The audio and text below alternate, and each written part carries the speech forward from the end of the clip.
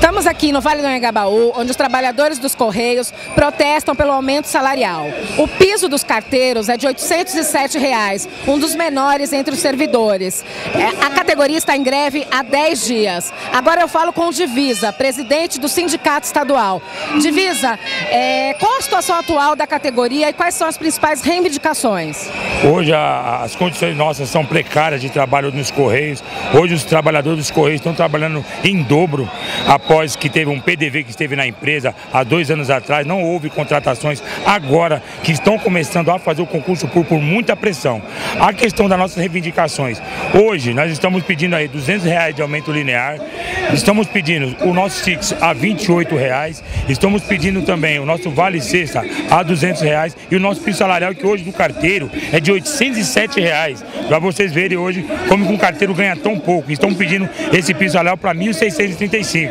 Estamos abertos para negociação com a empresa. Ela que fechou os canais de negociação. Acho que é, vocês estão acompanhando aí na grande mídia. Só o diretor, só o presidente da empresa que fala, nós não temos a chance de estar expondo a nossa, a, o nosso lado da, da história. Só ele está colocando e ele mesmo diz, ele truculento do jeito que ele é, não está abrindo o canal de negociação conosco e dizendo que nós, trabalhadores, que somos radicais. E não é isso, estão mostrando a insatisfação, vocês estão acompanhando aí, o Estado de São Paulo, todos os sindicatos vieram para a cidade de São Paulo acompanhar a nossa passeada aqui no Vale do Anhangabaú e mostrando para o diretor, para o presidente da empresa, que nós, trabalhadores, estamos unidos e estamos querendo sim as nossas reivindicações sejam atendidas. É isso que estão fazendo. E qual o balanço que você faz da greve, né? Dez dias de greve.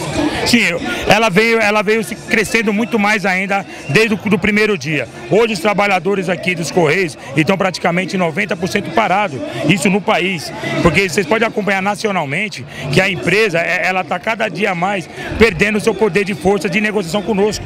Então nós estamos mostrando à, empresa que o trabalhador está insatisfeito. E aí nós vamos pedir desculpa para população, mas vocês há de convir conosco. Nós somos seres humanos, trabalhadores e precisamos de dignidade também aos nossos trabalhadores. Tá certo. E você falou da grande imprensa. Qual é a visão de vocês sobre a cobertura que a grande mídia vem fazendo sobre a greve? As informações passadas condizem com a realidade?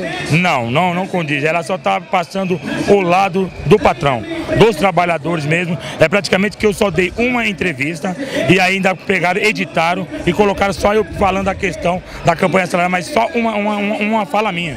Isso de outros sindicatos é a mesma coisa. Só passa a realidade mesmo da empresa. Então o que eu venho dizer, a grande mídia não está cobrindo de fato para que, que ela foi feita, para mostrar a realidade do, dos trabalhadores, do, do, do, povo brasileiro. É isso que está acontecendo. Porque quem está fazendo isso para nós são, as, são os pequenos que estão conseguindo estar tá passando isso para a sociedade. É isso que está acontecendo. E a greve continua? Oi, a greve continua firme e forte. E estaremos aí, e estaremos enterrando hoje o presidente da empresa. Meus pêsames a você, viu, Wagner? Tá joia. Na noite de quinta-feira, os trabalhadores aprovaram uma contraproposta que já foi entregue para a empresa. A entidade nacional dos carteiros estima que pelo menos 10 mil trabalhadores ocuparam as ruas das capitais no país. Débora Moreira, para a TV Vermelho.